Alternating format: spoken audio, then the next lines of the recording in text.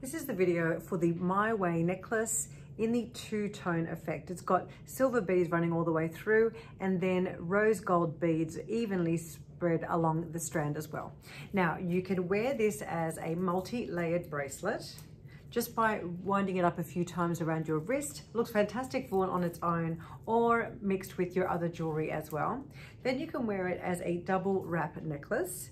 You can wear one layer long, one layer short, or wear it evenly for a lovely classic look.